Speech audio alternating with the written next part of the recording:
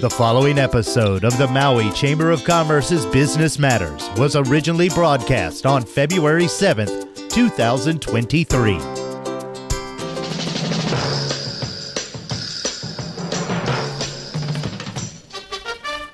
It's time now for Business Matters brought to you by Mokulele Airlines with your host, Pam Tumpap. Good morning, Pam.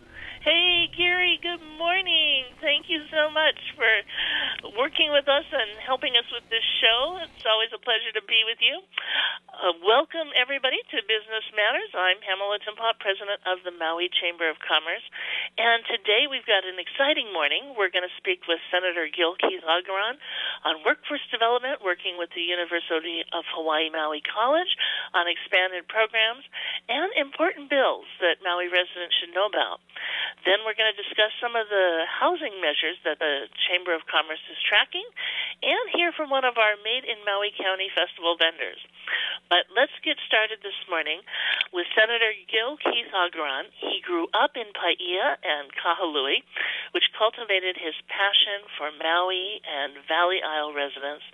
He is Assistant Majority Whip, served as State Representative for Maui for 2009 to 2013, and has served as a State Senator representing Maui ever since and he is doing some important work these days. Gil, aloha and good morning. Good morning. It's great to have you on the show.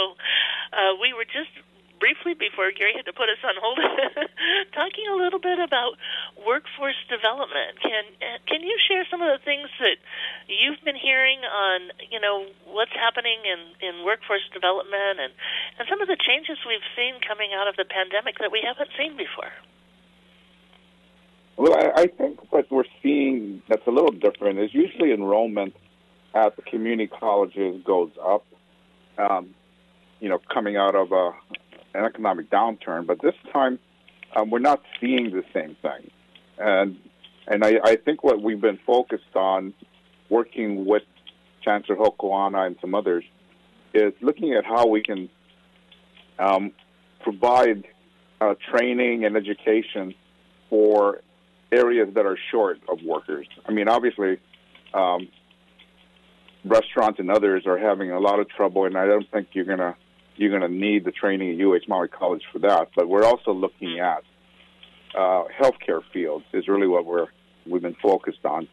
Um, I co-sponsored a bill with Representative Hashimoto uh, to expand the certified nurse aide to practical nurse bridge program at UH Maui College, and we're hoping that that um, that will continue to provide additional nurses um, for all the all the medical um, pra- practices on, on our island. Uh, we know that during the pandemic and continuing beyond there, um, every hospital in the state has been relying on travelers, uh, traveling nurses, who generally are going to be more expensive. And we have the additional challenge on Maui of having difficulty in finding places for them to stay. Um, during the pandemic, uh, the hotels, you know, were uh, had a lot of rooms open and the rates were a lot cheaper. Now, uh, I'd be surprised to find any hotel that is charging less than um, rack rate. Yeah, yeah, yeah. That's a that's a really good point because you know we know how critical our housing shortage is, but we forget that we had a great um, partner in the hotels who, when the rooms were net capacity, made those available for the traveling nurses. And so now we've really got a crunch there. Yeah.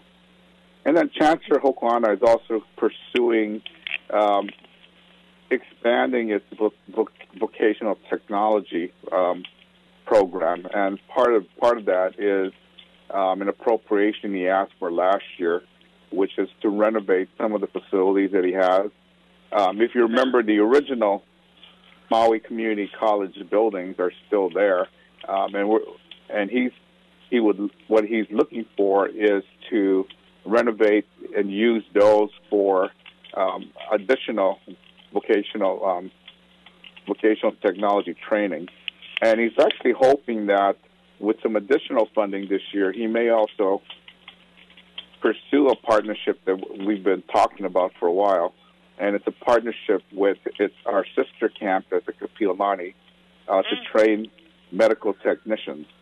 Um, it's another area that we're short of on the island, and um, any resident on Maui who wants to get that kind of training would have to leave the island, and hopefully they'll come back. Um, but you know, med, med techs are in demand, and um, I think it would be better for us if we could provide some training here on island. And one of the first steps is to provide a facility here um, that will be able to partner with Kapi'olani online to provide that training. That's fantastic. Again, these are these are the types of jobs that we always talk about right now. How do we bring in new jobs and create new jobs? Uh, one that fills an important need, and two um, has you know gets us much closer than the, to the to a living wage for our residents.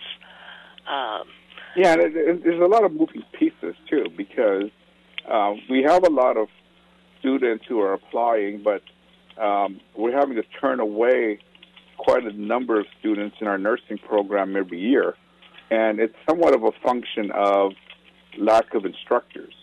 Um, we're having a hard time attracting attracting enough instructors um, because right now you can make a better living um, in practice than um, in, than providing um, instruction at UH Maui College.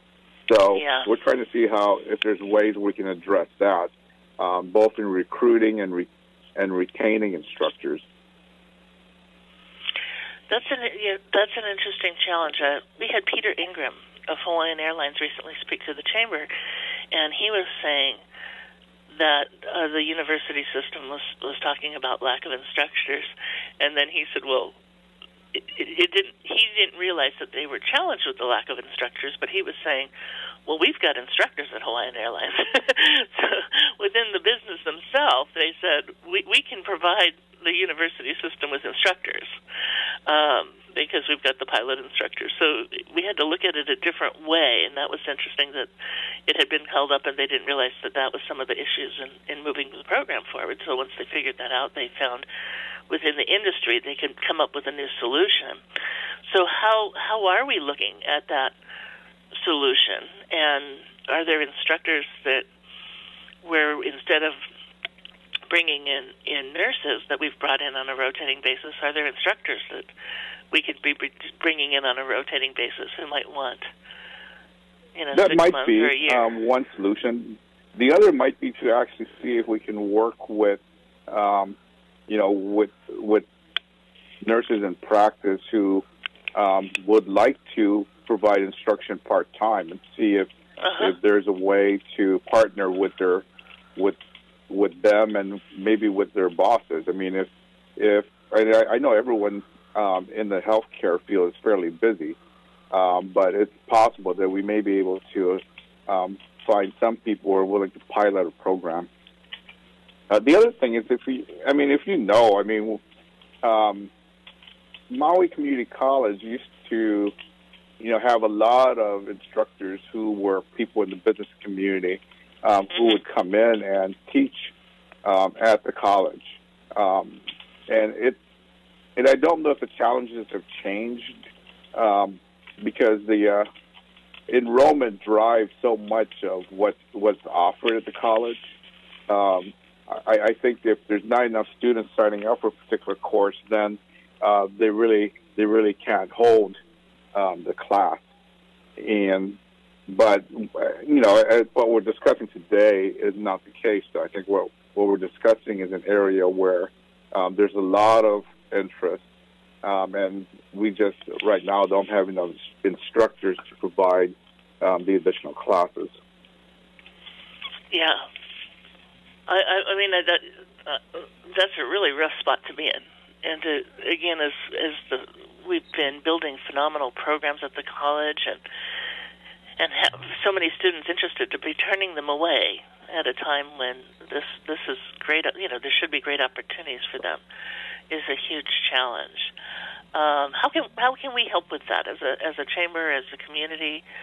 Um, you've got the interest uh, are we working with other um, other hospitals across the state and talking to them? Are they having the same challenge as well? I, I think most of the hospitals are having the same challenges as, as far as having to turn to traveling nurses. Um, but um, you know, they on Oahu, you've got you know you've got quite a number of of uh, institutions of higher learning, both public and private, that are providing nursing training. So they have a little bit they have a little bit more cushion as, far as um, training new nurses coming into the profession. Um, I think um, on Maui, you know, we just have the, you know, a single cohort that we train each year at UH Maui College. Uh, but you know, there's there's possibilities that we could do work with um, Maui Health System, which who is also right now in transition. So um, it may be something that um, we can start, but we may have to wait for um, the next head of the of the system to be hired to really to really get something going. Yeah, there's a lot. Of a lot. It's interesting as we're looking at this. There's so many different dynamics to this, and again, change, just even changing positions and changing leaders in key positions is is um, is one of those key things that you know sometimes you just have to to wait and see where that lands and then move forward. Yeah, I I, I find it fascinating. One of the people I'd love to talk to about it is also Joe Pluta, and you know we've got that West Maui Hospital that we're talking about. Of course, they're going to have to staff that as well, but and that's still been a long time coming. But um, I'm wondering about people like Brian Hoyle and maybe what suggestions they might have or resources they're thinking about as they're continuing to push forward with the West Maui Hospital. Sure. Yeah. Well, uh, uh, you know, uh, you were you were have been such a big proponent of working on these programs, and it's really exciting to uh, you know know that that we're looking at, and I love the idea of again the technical training side of this, uh, looking at the medical technicians and and being able to have some capacity here so that they can use equipment here on Maui and then do the distance learning with Kapiolani. Uh, I think, and of course, everybody is so interested. Coming out of COVID, you know, we have a new norm now. So distance learning, which uh, you know we sort of struggled to kind of in the early days get off the ground and then it was expanding. Uh, today, everybody is excited about that. So I think that's a phenomenal option. Tell us about some of the other bills that you've introduced this year that you think would be really important for Maui residents to know about, things you think we should follow? Yeah, what we over the last couple of years, we've expanded ambulance services uh, throughout the state on the Big Island, on Kauai, and uh, most recently on Molokai.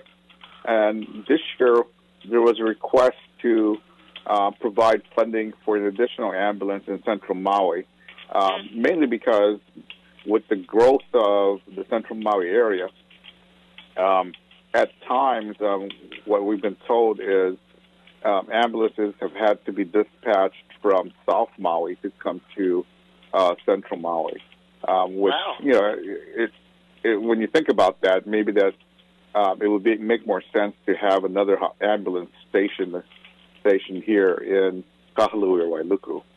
Yes. Um, we also are introduced a couple of bills, um, uh, mainly on the edges of the way we deal with certain things. Um, right now, our advanced healthcare directive form um, doesn't give you the choice of using a non-opioid uh, pain management option. So Mm-hmm. that that little change um, will give people um, an opportunity to pick that rather than to have pain management with an opioid. Mm-hmm. Can you We're talk a little bit about that, Gil? Uh, because you know, I mean, some people hear about and others don't really know about the opioid crisis we've seen. And so, can you talk a little bit about the importance of this opioid option? Yeah, well, I, I, I think it's um, I think throughout the country, I mean, there's been a lot of people who have become dependent on opioids, um, but um, at the end of life, um, I think when you, if you know anything about advanced healthcare directives, you can choose. One of the choices you need you can make is whether to be put on some kind of pain medication, um, and the usual pain medication that's uh, prescribed would be opioids. Um, uh, and depending on how long you're on there, I, I think what we're trying to avoid is having someone addicted, which has become a really big problem on the mainland. But this is that's just a little a little thing that we're looking at. Um, mm-hmm. Other bills that um, I think people should be paying attention to is um, we're really this year have a, a, a large number of bills uh, proposing different ways of reducing the general excise tax mm-hmm. on over-the-counter medications and groceries. And you know, some are going to be tiered towards um, reductions over four years. Uh, you know, like one percent a year. Others uh-huh. are more geared towards providing expanded credits um, that would be made available. Um, one of the one of the debates that always happens about um, re- reducing the scope of the of GET is right. that um, its broadness is what makes it um, one of you know one of the most effective and efficient um, taxes that um, any state has, right. um, and so um, and a good portion of it gets exported to our visitors who, when right. they're here, also will be charged a GET. So we're looking at. Uh, so some people prefer the idea that maybe we should provide expanded um, tax credits for it, so that the people who benefit from the reduction would be um, Hawaii residents. Mm-hmm. You know, I will say that again, especially coming out of well, we've we've advocated the chamber has advocated for this before as well, but also coming out of COVID and, and recognizing that the GET on groceries and medication really hits those who can least afford it most. But um, I do hear what you're saying, and I I would agree that again, looking more at these expanded tax credit options may be a better way to go. Do you have a sense what what what is what is your sense? Do you have a feel for what you think works better? Um, you know, I would want to make sure that um, that the benefit gets spread among our residents as wide as possible mm-hmm. of any kind of reduction. Um, some of the proposals right now are aimed really at those who uh, qualify for SNAP or WIC benefits, mm-hmm. um, which is the which is the neediest part of our, of our population. But right. I think anyone that's living here um, does see the impact of the GET when they go out and they buy buy any kind of groceries. Mm-hmm. So I, I'd like to make see if we can structure the tax credits to um, to be useful for as many of our tax filing residents as possible. Yeah. Yeah, I agree. And the bills are the bills; those bills are being heard, and I would expect that it's a, something that's going to continue throughout throughout the session. Um, we're in the we're in the that nearing. We're actually getting close to the first deadline that needs to be met for all the bills that were introduced. Um, the House actually has until this week to move out bills that have been referred to three committees, and both the House and the Senate have until next week to um, send bills to the final committee that's going to be hearing these bills um, in their own chamber. So it's as happens in a 60-day session. Uh, it's it's a fairly quick process, and bills have to be heard and and voted on the floor, and they need to move on to the next committees. So there's going to be there's been a lot of culling of the 3,000 or so bills that were introduced um, in the first weeks of the session. you know, I haven't even looked up the number yet this year. I, I, I know we're still rapidly at the chamber going through, you know, reading through the bills and and uh, starting to comment and get through everything. And as you said, the, the ones that have triple referrals are the hardest because those it's hard to get three meetings and get things passed with triple referrals. Um, so we've been starting to look at that, but I didn't even look at the numbers. So this year we're over three thousand new introductions. Uh, that's that's the rough number that we're working with. Wow. Uh, we always say uh, one year it was very close to four, uh, but but we're up there again, and again, understandably so. I mean, coming out of COVID with so many things that you know we're we're looking at through a new lens. Sure, but a lot of the bills, of course, are there's a lot of duplication in the bills. Mm-hmm. Um, different versions of measures. Like, for example, the the reduction in the GET for groceries and medications has a lot of different versions that a lot of different uh, legislators have introduced, as well as what the governor's introduced. I think the governor's uh, the governor's the governor has um, a package of bills that uh, he's calling his affordability plan. Um, and I don't know at this point, um, you know, whether those bills are being heard or whether legislators are looking at their own bills. Um, and just focus, just sort of uh, li- listening to what the administration says um, should be incorporated in them, maybe from uh, Governor Green's plans. Mm-hmm. Yeah, it's going to be interesting to watch.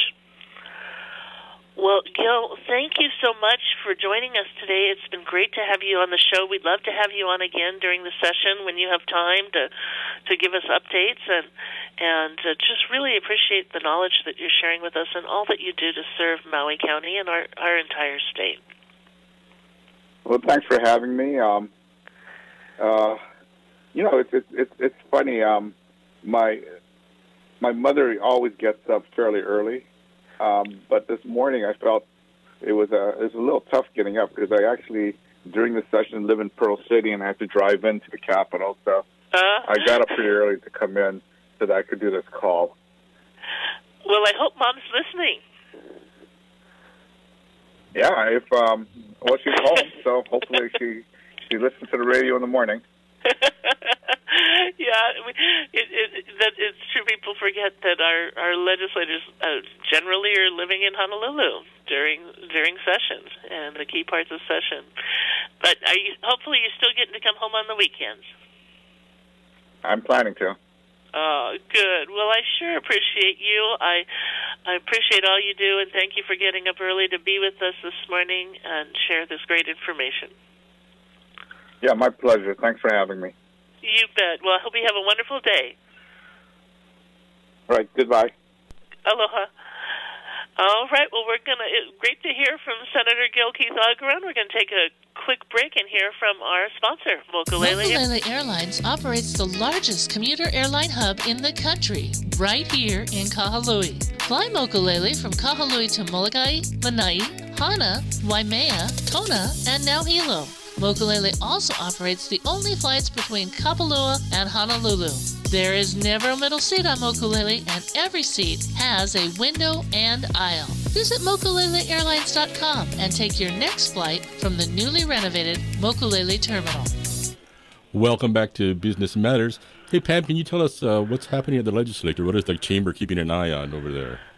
Oh my gosh! Well, thank you so much, Gary, for asking. You know, it, as Gil said, things are moving fast and furiously, and uh, you know, if you're not familiar with the process, bills can get referred to multiple committees, and one of the most challenging things in getting a bill through because the process has been so quickly, is what they call a triple referral, which uh, Senator Agaran was talking to us about, that they're working on now. So if if a bill got refer- referred to three different committees, uh, they're going through their current house, the house that introduced it in, and so it's a lot of work to get through those three committees. Many bills die um, during this time because they just they they prioritize the you know really important bills, and then they try and get to those with triple referrals, meaning um, there's a lot of people who feel that it would need more work. So it's interesting to see. But what we're fo- what I'd like to focus on a little bit today, we're going through as many of these bills as we can. Uh, we're tracking them. You can track them online at the Capitol website, and you can also learn about all of your legislators and who's working on that. But some of the things that we're working on right now deal with housing. Um, we're also, you know, looking to this session, we're looking to work with legislators on how to remove barriers for building new housing projects, interested in new ideas, how we can make it easier for residents to afford housing, um, and to look at how we fill the gap. And that can be not just, you know, when we talk about housing, a lot of people don't want or really can't afford a, a home per se.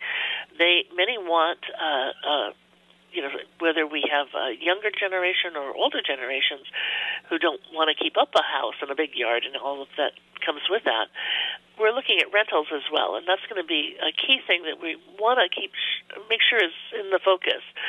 But as these address, issues are being addressed at the state legislature this year, you're going to notice um, that many bills have been introduced by Representative Troy Hashimoto from Maui and Senator Chang, um, as they are the chairs of the House and Senate Housing Committees. So these are the leaders of those committees. So. Um, we refer to bills by HB or SB. HB means House Bill, um, and that would be uh, under Senator, uh, excuse me, uh, under Representative Troy Hashimoto's, a lot of his bills, and then SB is Senate bills. So House Bill 648 was introduced by Representative Hashimoto. This is a bill that will temporarily expand the rent uh, the state's rent supplement program to qualify individuals and target those who are 62 years of age or older and are homeless or at imminent imminent risk, excuse me, of becoming homeless. So we're looking for seniors now who are highly challenged in housing. And according to the bill, low income kupuna sometimes face homelessness because of fixed incomes and rapidly rising rents across the state. And this bill seeks to address that gap to keep kupuna in their homes or to supplement uh, their incomes to find homes to rent.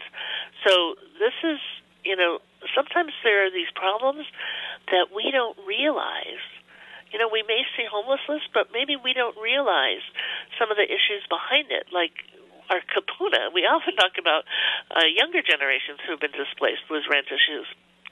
And now we're finding, and the state has got data to say, our kupuna are really struggling to find and stay in find housing or stay in their homes. So this is a really great bill. Um, House Bill 673, introduced by Representative Troy Hashimoto, uh, this allows the counties to reclassify lands of 15 to 100 acres in certain rural, urban, and agricultural districts when at least 50% of the housing units on the land are to be set aside for what they call the 140% uh, AMI level. AMI means area median medium income. So again, this is a way of qualifying your income level. Um, it's used by HUD and, and the federal agencies to look at housing this way and all of our county and state look at housing this way.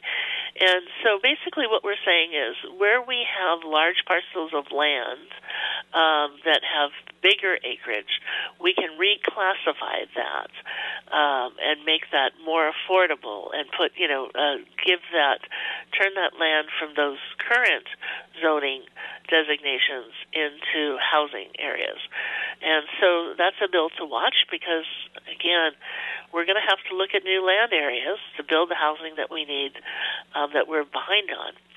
House Bill 791 was introduced by Representative Mizuno. This bill establishes a housing assistance program to provide state grants and rental subsidies to private property owners who set aside, construct, or improve accessory dwellings on their properties and rent the units to families or individuals who are homeless.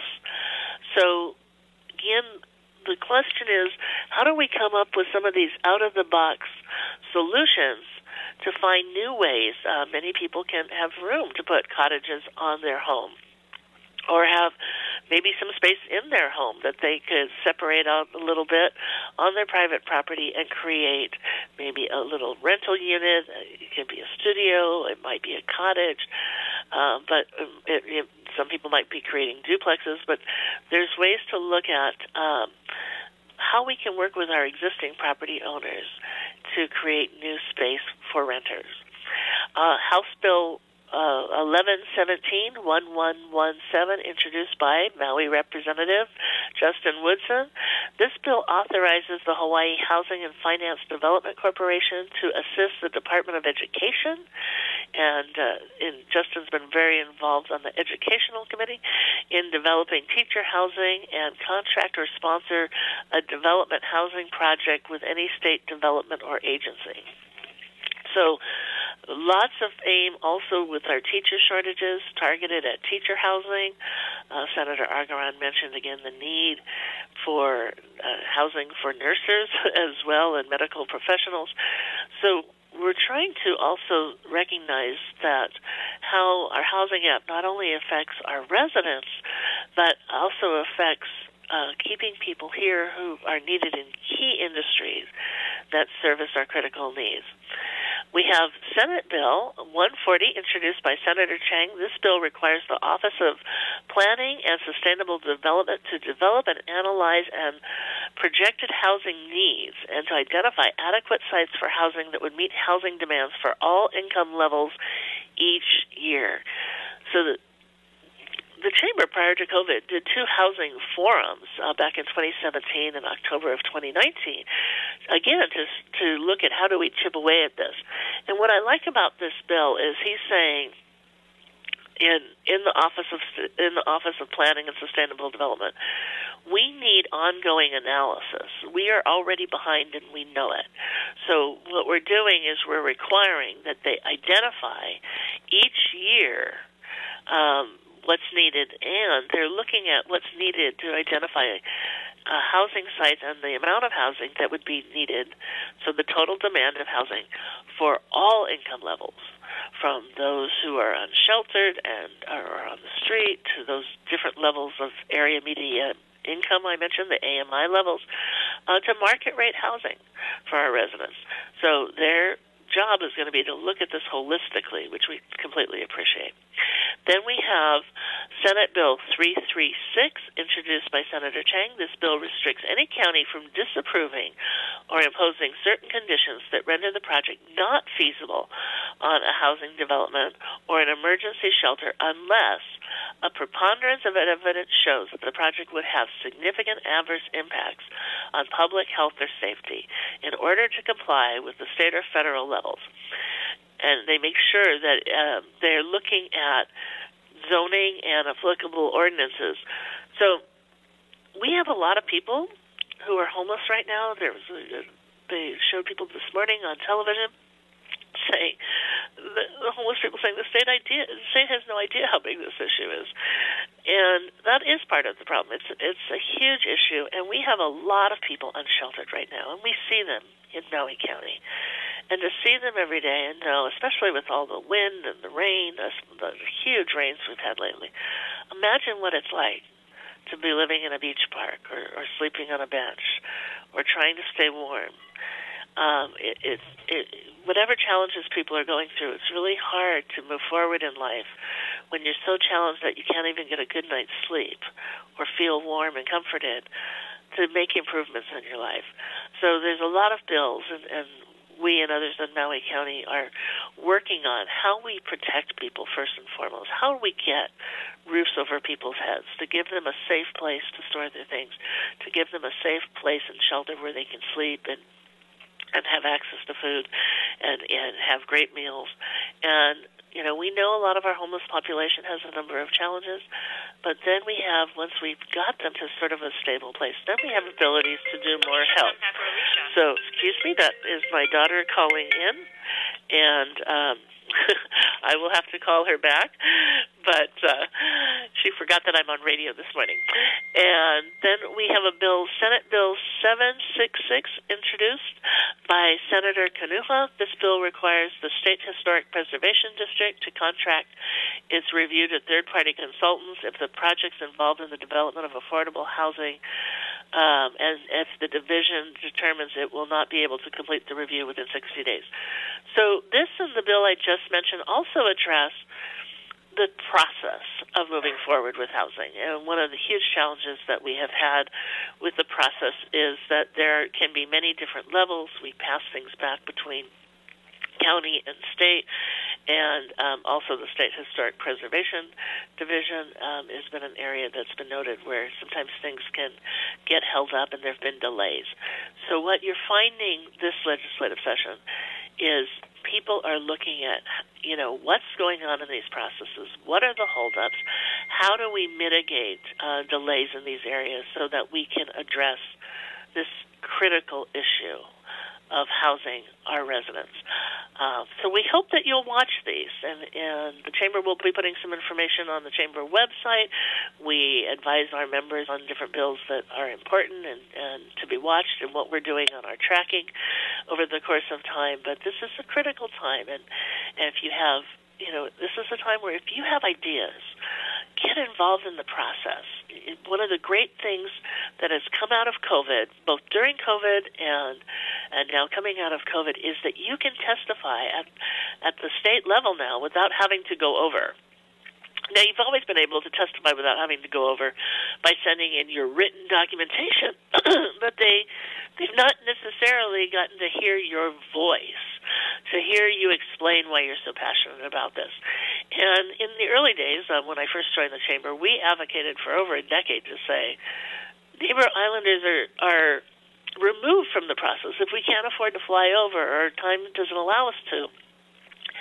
Our voice is heard less than others, and so you know people people who live on Oahu or or bigger companies or organizations who have the the funding to fly over and more time you know are there and better able to better advocate on their issues but we all know that that playing field has been leveled because now we can do video testimony and there was a time when legislators said there's no way we could take in all this new testimony but they had to, and they did during COVID, and now they recognize that it is possible. And and not only is it possible, they've, they've always wanted to do it, but they always saw it as being a challenge.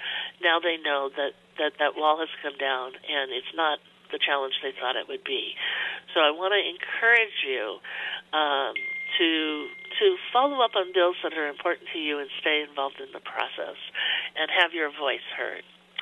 Uh, I also want to do a quick plug uh, for the Maui Chamber of Commerce. Our big annual fundraiser is coming up, and we did. We were one of the last big events pre-COVID.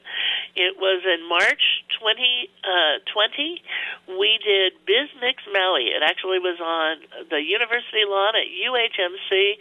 Back then, it was called Emergence. It is an avant-garde, exciting multi-course dining experience with specialty cocktails and divine desserts, uh, with great entertainment, mix and mingle, networking, and some surprising performances. And the first time it was on the the college grounds, and everybody had a spectacular time. It was a pretty windy night, I will tell you, on March 2020. Uh, some of our decor was blowing around, but that didn't matter. Everybody had a great time. We had rave reviews, and we're going to continue that this year with at the Grand Wailea uh, Maui at, in their courtyard and their ballroom. This time we're going to have both indoor and outdoor uh, cocktails and dining experience. We'll have a silent auction uh, for those who want to support the chamber. If you have an auction item you'd like to donate, we would deeply appreciate it. We also, you know, tickets are uh, $250. You can buy individual tickets. You don't have to be a, a chamber member to come to this event, and we're going to have some really great surprise entertainment that we'll be announcing soon. And there'll be an after party with dancing and fun. So it's a night of networking, dancing, and great experiences that you're really going to treasure. And we always say, bring your camera. This is an event where you want to bring your camera and get involved. So we hope you'll join us to learn more. Just visit uh, MauiChamber.com or call us at the office. Speak to Amber at 808 244 0081. And now, uh, Gary, do we have uh, Jocelyn on the phone? Yes, we do. Fantastic. Well, let me tell you a little bit about uh, Jocelyn Kanaele uh, from Happie Happie Joie Joie Creations. Jocelyn is a professional pastry chef born and raised on Maui, and she and her team have had many years of creating desserts and pastries in many high end hotels and kitchens before starting Happie Happie Joie Joie Creations, which I just love the name. So we're going to have uh, Jocelyn tell us about that. And Jocelyn has been part of the Made in Maui County Festival. Good morning, Jocelyn. How are you this morning? Hi, good morning, Pam. I'm good. How are you? I'm great. So glad to have you on the show. Yeah, thanks for having me. so tell us a little bit about how you started Happie Happie Joie Joie Creations. Yeah, so actually I've been employed with uh, Bev Gannon with Hali'imaile um, restaurant for quite some time, and during the, when when the pandemic started, actually that's when everything started to you know go the other way, and when we started to go back again, Deb mentioned to me, she was, why don't you start wholesale and, you know, start your business? So I was like, oh, okay. So that's how actually our company started with Happie Happie Joie Joie, and we started doing desserts for her, and that's how everything just started, um, you know, creating this whole dessert field of pastries and everything like that. So actually, it's through Bev Gannon. That's how it actually got all started. well, we love Bev. Bev is a dynamic yeah. woman. exactly. and a phenom in the restaurant industry so she's, exactly, she's yeah. done very well. But it's nice to also to know uh, that that Bev is you know encouraging others to go out and, and get involved. So tell us a little bit about the types of desserts that you do and the products that you offer, and, and uh, tell us about who are the people who are buying those. Yeah, so we we provide all kinds of um, desserts um, from specialty. We do specialty cakes. We do cupcakes. Um, all kinds of cookies, and uh, we also do like catering desserts too as well for um, people who have events for like um, weddings, anniversaries, you know, all kinds of um, celebrations. So we do all these type of desserts that are really bite sized, so they don't have to worry about cutting it. Everything is like easy to pick up and eat. So you know, so it's really mess free. Um, so it's really easy to go through. And the people that actually come around is all local. Um, we have a bunch of um, people that love our desserts. Um, they say it's not so overly sweet, and you know everything is made from scratch, and um, we pride ourselves on the quality that we do too as well. And we have a small network of, of um, professionals that work with me, and we, we we actually hone in to making sure that the quality is um, is there for uh, for all of the public to actually come and enjoy. Now you mentioned small desserts, which I just love. love yeah. I love finger. I love little finger finger uh, desserts that you can have and have an array of different desserts. So that always sounds very fun to me. So um, when when people buy them, uh, is it mostly people buying for parties? Do you have other um, restaurants or event people who are bringing your desserts in? Are they pre? Are they like packaged in the box, or are there? Can people buy little um, individual packaged products? Yeah, so actually, a lot of these um, when people buy them, it's a lot for um, for their events, for birthdays and stuff like that. But we also do a uh, regular size too. And actually, just recently, um, we've actually moved locations from Hali'imaile, uh, where we were located before. So now, actually, starting tomorrow on the Wednesday, we actually have a like a small storefront that we're actually opening, so people oh, can come and see us here. Yeah, Where's thank that? you. So we are at 302 Wai'ehu Beach Road. So it's right after Jack in the Box. Has a little, like a little, um, looks like a little cottage house on the right hand side. Okay. It used to be the old Taco Carlo store. So now I'm actually leasing out the uh, location, and we're going to actually start to do a soft opening tomorrow morning, which we start from six in the morning to 3 p.m. tomorrow. Mm-hmm. Wow. Well, this was timely. I'm so glad you're on the show today. Yeah, thank you. so, 6 a.m. tomorrow, soft opening. Mm-hmm. Not not now. Hopefully, everybody rushes over there. To yeah. You're thinking maybe not. Maybe yeah. We yeah. give us a, they give can come and visit anytime they want to. yeah. but I, I love that location, the old Kahlo store. Oh my gosh, I'm so glad that somebody is going in there. That's great. Yeah. Yeah. Oh, We're going to now, do you offer quite a bit that of stuff. oh, excuse me? Do you live in that area? Um, actually, I live up country, but Oh, okay. um, I yeah. So actually, I come from up country. I come down here, so pretty much yeah. We just pretty much right around here, so easy location Aw. to actually access. Uh, I love that, and, and I love when we get to see our old stores and, and places that we cherished. We, we get new memories now, but we know that they're they're still being used, and and there you are in the local community. Great location though too. Um, yeah. So do you do uh, do anybody does anybody buy any um, of your products that are custom for their store or for for their business? Yeah, actually, we we've actually partnered with, um, of course, um, Miley and and of of course Gannon's, and also too we do um, Mala Tavern in Lahaina as Uh-huh. well. Um, and there's a few others that we're actually going to be um, uh, connecting with too as well um, throughout the community. And then a lot of them been, of course, we were with the Maui Chamber of Commerce. We did the, um, you know, the in Maui County Festival too. We do a lot of, and we do also do the um, the makeke. So the Shannon Lu who does the makeke. So we were connected with him, and we did a lot of that too as well. So you know, we kind of like broadened our horizon with uh, with the community right now. what do you? Oh, I'm so excited. Well, you mentioned the festival. Tell us a little bit about how the festival went for you this this year with our first year back coming out of COVID. Oh my God, this is actually our first year starting it, and it went really well. It was it was it was like it was amazing. Um, we were surprised at how much people actually came to the event, and that was actually our first time being there.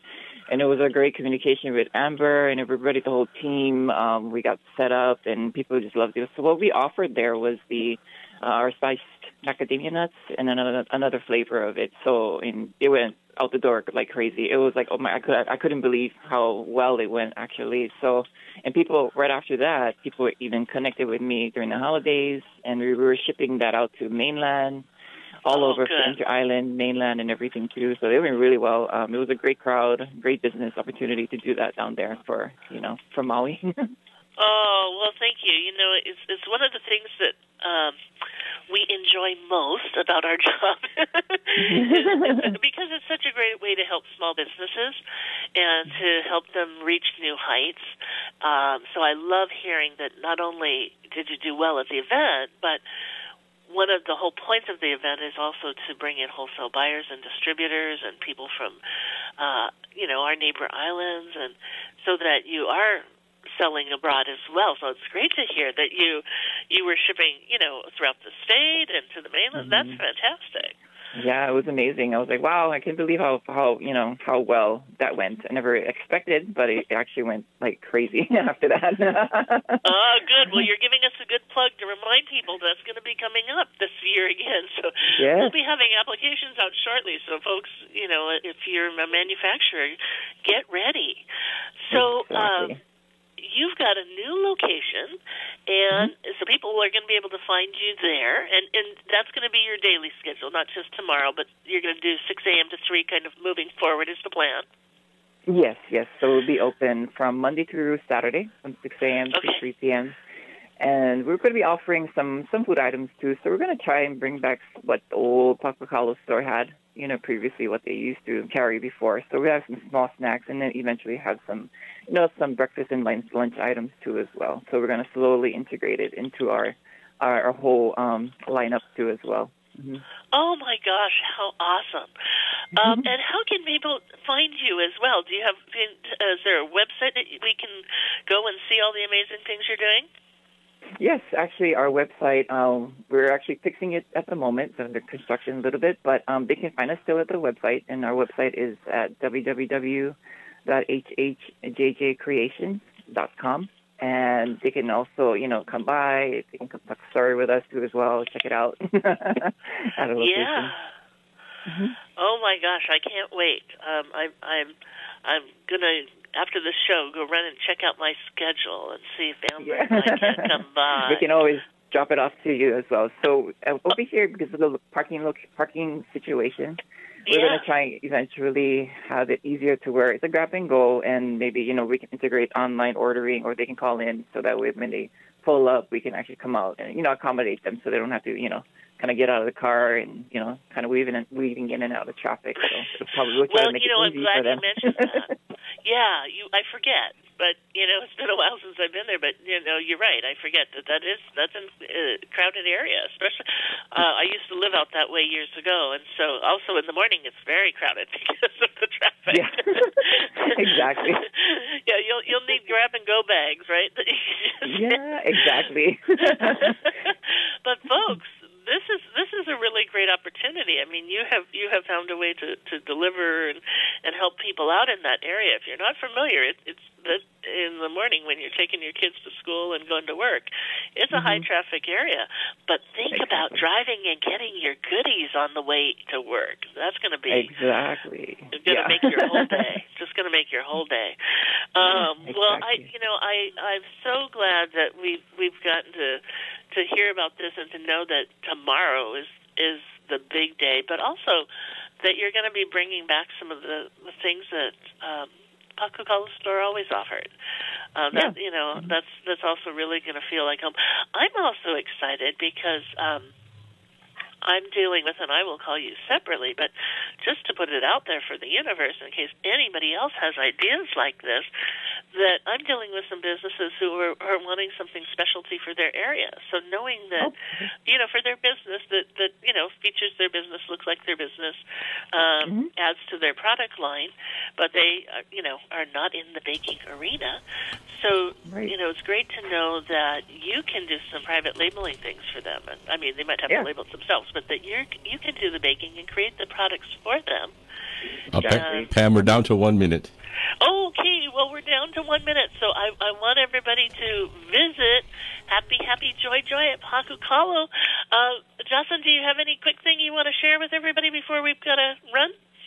Um, pretty much just come and visit us tomorrow. We'll have some um good some great goodies and um yeah, pretty much just stop by and we'll be excited to actually get to open this up and start to see everybody. Awesome. Well, you have a beautiful Maui day. Thank you so much for joining us.